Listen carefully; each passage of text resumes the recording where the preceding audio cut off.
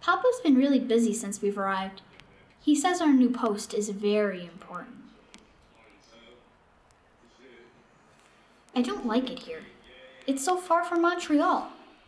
I don't understand why Frenchmen need to travel so far.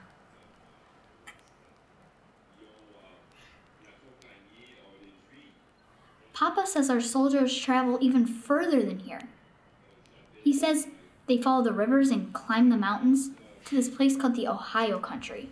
Our troops have more forts there.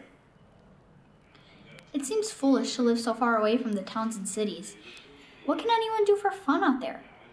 You can't attend Baron de Longueville's parties if you're all the way out there. We can't attend Baron de Longueville's parties if we're all the way out here.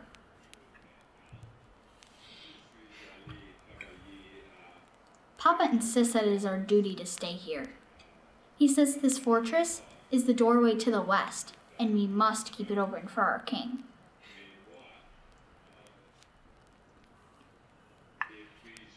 Pop said we can have parties here, but he's always too busy for parties. There's always ships, supplies, and soldiers coming to the fort.